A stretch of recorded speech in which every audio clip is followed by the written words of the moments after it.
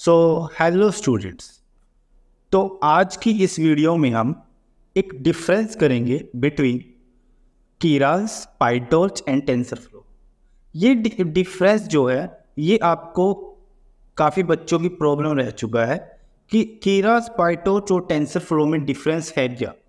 करते तीनों deep learning processes हैं deep learning high high data higher data sets के ऊपर काम करते हैं और तीनों जो है वहाँ पाइथन की लाइब्रेरीज तो सबसे पहले हम एपीआई लेवल के ऊपर बात करेंगे। तो कीरस जो है वो हाई एपीआई लेवल के ऊपर काम कर सकती है। जो पाइटोर्च है, वो लो लेवल के ऊपर काम करता है एपीआई और जो टेंशन फ्लो है, वो हाई और लो दोनों पे काम कर सकता है।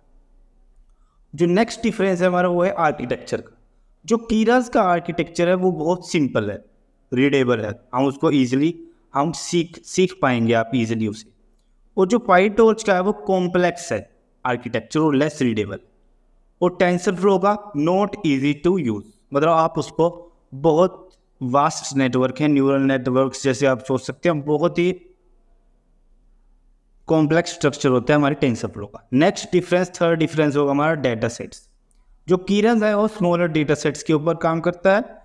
और जो पाइटोर्च है वो लार्ज डेटा सेट्स के और हाई परफॉर्मेंस देते हैं हमें और जो टेंसर फ्लो है, वो भी हमारे लार्ज डेटा सेट्स और हाई परफॉर्मेंस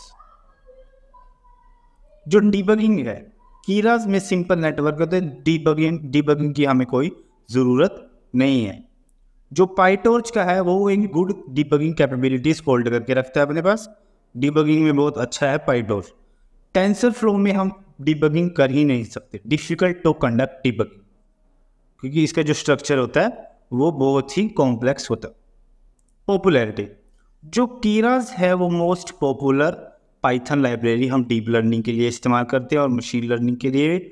जो सेकंड मोस्ट है, वो है हमारी टेंसर फ्लो जो सेकंड नंबर पे आती है हमारी पॉपुलैरिटी में। और जो थर्ड नंबर पे आती है हमारी मिडल वाली पाई टॉर्च तो अब बात कर लेते हैं इनकी स्पीड की।